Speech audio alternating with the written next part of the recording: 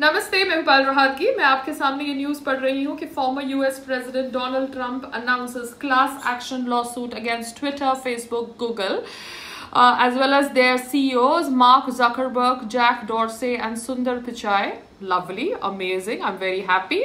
Trump said that he was serving as lead plaintiff in a suit claiming he has been wrongfully censored by the companies, according to AP. Now, AP is a news agency. So, I'm very, very happy Donald Trump is doing that. He has the money and he कहते हैं contacts to get uh, good lawyers to fight this case because Bharat के अंदर तो obviously हम लोगों के पास इतना कुछ legal framework नहीं होता that we can bring down Facebook, Twitter, and Google.